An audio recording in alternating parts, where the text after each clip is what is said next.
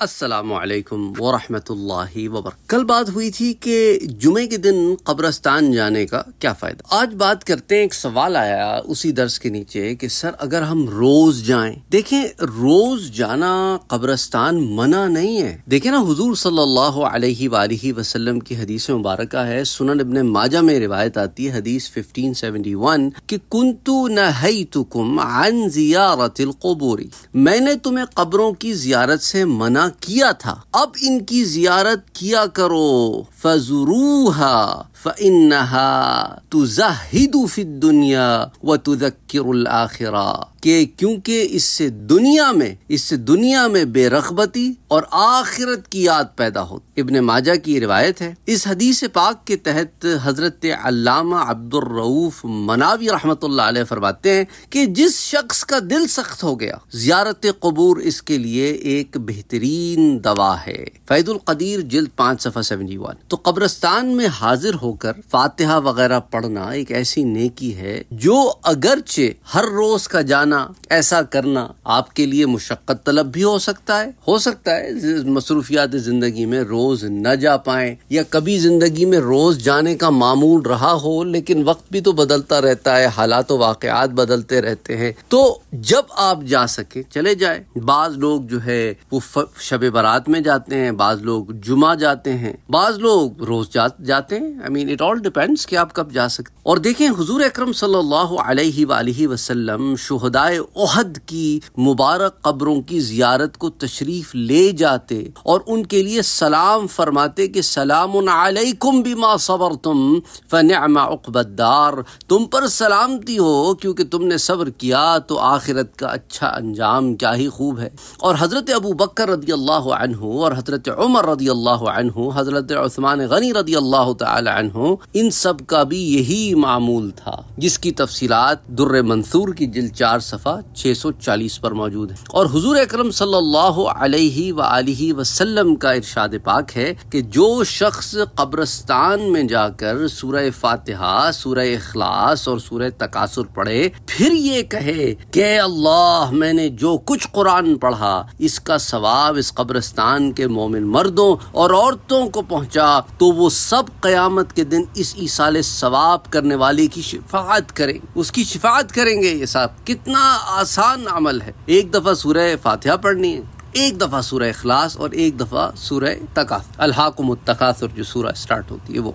और ये रिवायत शरह सदूर के पेज थ्री अलेवन पर आती है। और इसी तरह हुजूर अकरम अलैहि का फरमान मुबारक कि जो शख्स हर जुमे को अपने वालदेन या इनमें से किसी एक की कब्र की जियारत करे, उसकी मगफिरत कर दी जाएगी और उसे माँ बाप के साथ भलाई करने वाला लिख दिया जाएगा। ये मैंने आपसे कल ज़िक्र किया था। ये शोबुल ईमान में रिवायत आती है the seven O nine seven thousand nine hundred and one अब यहाँ पर जुमे जुमे से मुराद क्या है? तो मुहदसिन बल्कि शारहीन हदीस ज़मीन में लिखते हैं कि जुमे से मुराद या तो जुमे का दिन ही है, या पूरा हफ़्ता है। बेहतर है कि हर जुमे के दिन वालदेन की कबूर की जियारत की जाए। अगर हाँ हाजिरी मुयसर नहीं है, बहुत बहुत सारे लोग ना दूसरे मुल्कों में रहते हैं, दूसरे शहरों में रहते हैं, या किसी वजह से हाजिरी नहीं लगा सकते तो इस ज़मीन में भी मिरातुल मनाजी हमें यही आता है तो फिर आप जहाँ हैं, उनके लिए सारे सवाब कर दिया कर। मिरातुल मनाजी, जिल दो, सफ़ा पाँच सौ छब्बीस।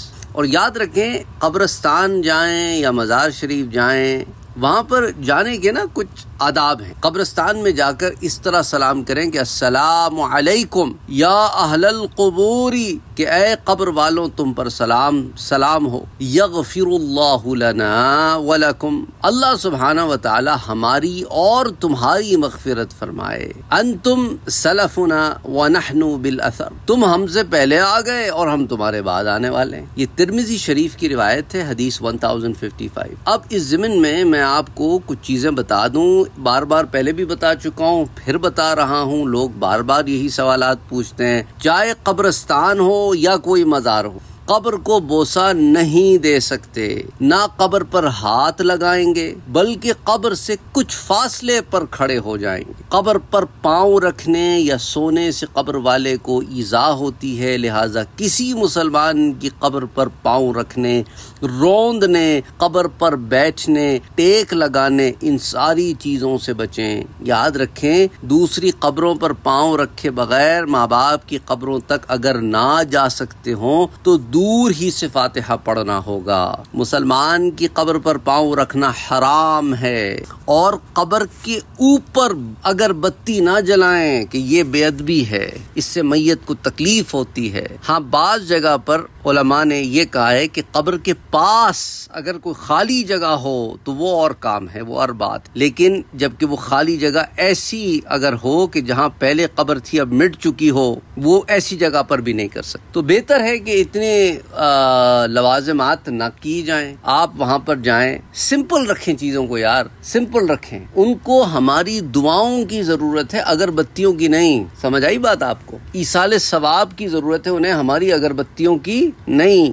बार अल्लाह सुबहान व ताली सबके लिए आसानी करे। इसलिए मैं बार बार कहता हूँ, लोग मज़ारात पर जाएँ या कब्रस्तान जाए। अजीब व गरीब सी हरकतें करते हैं। और कभी कभी पूछते भी हैं कि, सर, मैं अगर माँ बाप की कब्र के ऊपर ऐसे सर रख लूँ? नहीं रख सकते। इसलिए तो बार बार आदाब सिखाते हैं आपको कि वहाँ पर जाके फासले से खड़े होना है। बोसा नहीं देना, कब्र पर हाथ नहीं लगाना, ये तमाम मामले इसीलिए आपसे कहे गए। कब्रों पर पाँव नहीं रखना, उन्हें रौंदना नहीं, कब्रों पर बैठना नहीं, कब्रों से टेक ना लगाना, ये तमाम मामला इसीलिए बताए जा रहे हैं ताकि ये चीज़ें ना की जाए। लेकिन अनफॉर्चुनेटली अनफॉर्चुनेटली कितनी भी दफ़ा बता दो, लेकिन लोग क्या करते हैं? जी, जज्बात जज्बात आपकी शरीयत से ऊपर नहीं है, याद रखो। मुसलमान है तो मुसलमान का मतलब समझो, यानी कि मैंने अपने नफ्स की ख्वाहिश को, अपने रब की रजा के लिए मिटाना है, ये इस मुसलमान है। अपने आप को मुसलमान कहूँ और करूँ, वही जो मेरा नफ्स कहे, जो मुझे अच्छा लगे, ये कोई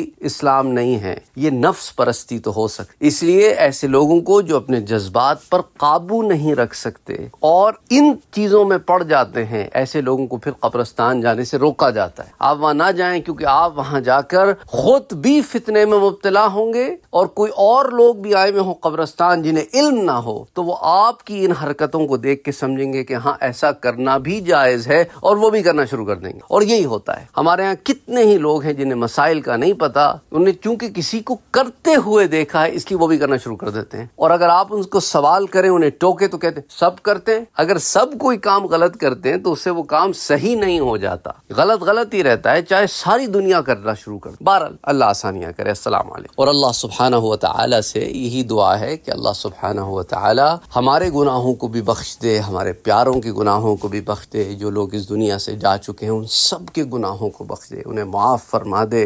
ए अल्लाह तो हमारे हाल पर रहम कर दे। अल्लाह मकफ़िरमिन वलमिनत वलमसलिमिन वलमसलिमत अल्लाह मिनहुम वलअमवात इन्नक तुहिब्बुल अफ़्व फ़अफ़ु अन्ना या करीम या गफ़ार कि अल्लाह बख्श दे मोमिन मर्दों मोमिन औरतों मुसलमान मर्द और मुसलमान औरतों जो ज़िंदा हैं जो जा चुके कि बेशक तू ही है बख्शने वाला तू ही है रहम करम करने वाला तू ही है तवाब तू ही है माफ़ करने वाला तू ही है गफ़ार तू ही है गफूर ए अल्लाह में माफ़ कर दे अल्लाह मोहम्मद मोहम्मद सल्लल्लाहु अलैहि वसल्लम Don't forget to like, share, comment and subscribe to Sayyid Saad Qadri.